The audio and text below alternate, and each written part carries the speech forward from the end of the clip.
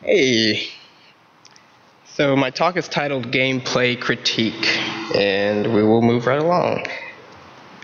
So my name is Richard Terrell, and I go by Kirby Kid from my history of playing competitive Smash Brothers. So that's kind of where I got my name, and I stuck, so it's good. And uh, I'm one of three developers of a game called Bari Ball. It's one of the four games in the Sportsfriends package, and it's a fighting sport game hybrid. It looks like Smash Brothers, so I guess that's uh, the connection there that you should draw. Uh, I'm the sole writer of a very large blog, criticalgaming.com, and I've been writing for this blog for over six years. And a month ago, I gave a talk at IndieCade titled How Kirby and Smash Brothers Taught Me to Design Better Games. And in it, I detailed, detailed my journey from being a player, competitor, blogger, game tester, game researcher, and finally a game developer. And I explained how each step uh, gave me the foundation to better understand games. And the formatting's a little weird, but pretty obvious what that says. So two weeks ago, my team launched a website that we consider to be next generation games criticism, and it's called StarseedObservatory.com. And as you might have guessed from the title, it's a website completely dedicated to Starseed Pilgrim, which is an indie game made by Alexander Martin, or droqen, as he's known. And uh, this game came out a few years ago, and we put sort of all the ideas that we had uh, discussing as a group into this site, including things that we thought were important to games criticism, like uh, having a glossary and representing the quotes from all the different various types of players in the fan base. And we combed the internet and created sort of a wall of quotes where you can see 140 plus quotes, all said by different gamers in different ways. And we felt that representing these voices were important. And we have a whole bunch of other different features and structures that sort of make the website work. But this talk isn't really about the website, it's about the philosophy behind the website. So, gameplay critique is uh, the name we go by, and it sounds like another generic name for games criticism group. But there's a couple of things in this title that I really like. And uh, for the first, first off, it subtly implies a focus on gameplay. Uh, the first two words, gameplay critique, which kind of puts sort of challenge-based encounters and gameplay right in the focus of what we do here. And uh, Secondly, it's a title that comes across like Eat, Pray, Love, or Eat, Sleep, Play, or Play, Create, Share from Media Molecule's LittleBigPlanet. And when you read it like this, it kind of sounds like a set of instructions. First, get a game, then you play it, and then you critique. Like these are the things you should be keeping in the back of your mind as you continue to go through what we're about, this games criticism process. And um, yeah, so picking a game is important, playing it is important, putting the player and what they do and how they interact with the game at the heart of this kind of criticism was very important for us. And the last step, critique, is how the whole cycle sort of wraps back upon itself. You, you get the game, you play, you critique, and that informs how, or that informs what you understand of the game, and it shapes how you play, and the cycle kind of repeats. And uh, this philosophy was born out of reflecting how I enjoyed games and how I love to play games. I love beating games, I love meditating with games.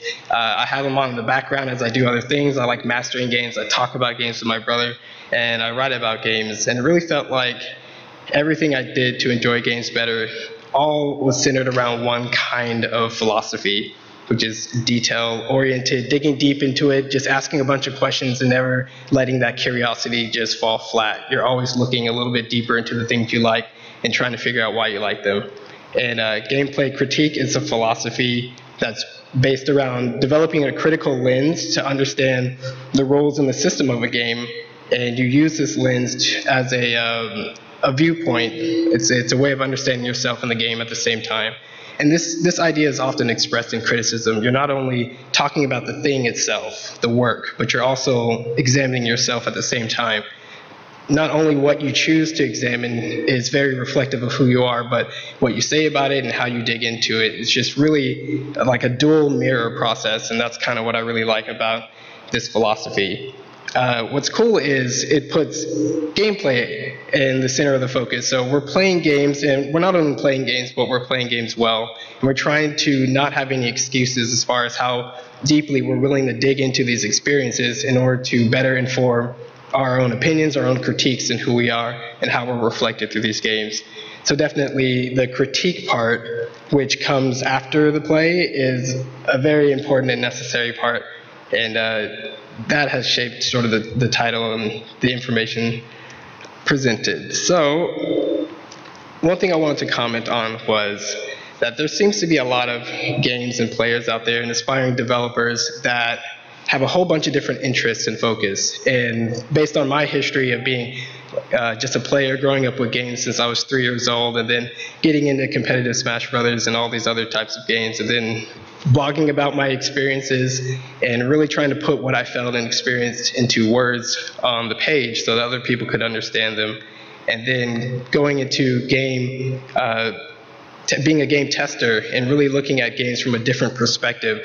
Not only spending all that time playing a game that I don't like, that was something that really sort of changed my perspective on games because we all spend time playing the games we like, but when you have to go to work every day and spend 40 hours in a game in a world that you would never spend any time in otherwise, it really teaches you something about what your opinion is, where the where it starts and ends, and how games are made, and looking at them beyond just am I having fun? Like what is this thing besides me having fun? And I felt that was very important. So having this kind of uh, rich experience, this rich history in games, and becoming a researcher, and then finally a developer on BaraBariBall, I didn't know exactly what to do with all of these different kinds of these different kind of thoughts, these notes, these experiences that I've collected over the years.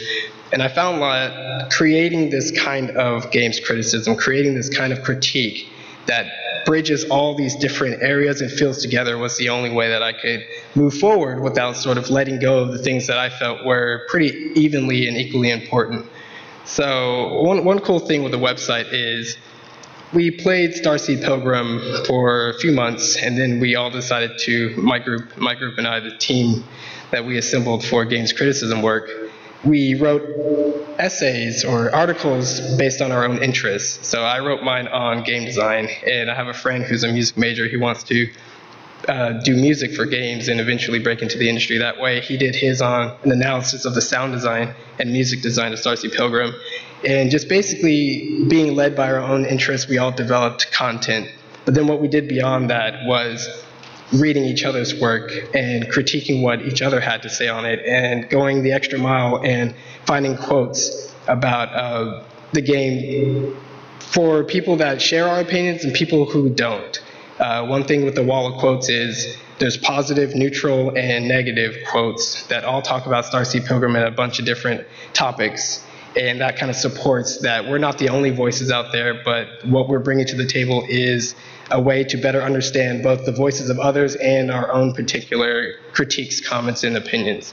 But uh, one of the coolest things that came out of this project was we actually got Alexander Martin droqen, the creator, to join in on some of these conversations. And we said, we don't exactly like these aspects of Starseed Pilgrim, but like, what do you think about it? Or maybe some of us liked it, some of us didn't. We had this very interesting roundabout conversation.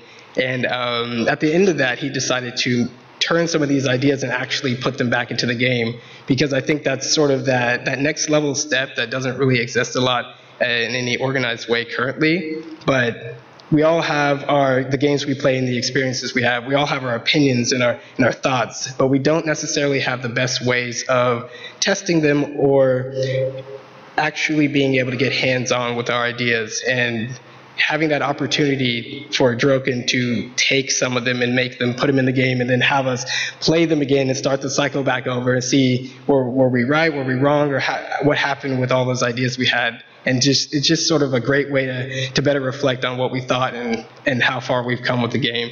So that's uh, an exciting thing that's coming with the, this whole project. And it's something that I'll be talking and spearheading uh, with my time here at GDC. But I just wanted to leave you guys with this idea that a lot of these different pursuits that we have, a lot of these different areas and aspects of being a gamer and a critic and just a person in general can be combined in a really interesting way. And uh, I just hope you give this new style of games criticism a try. And that's my talk.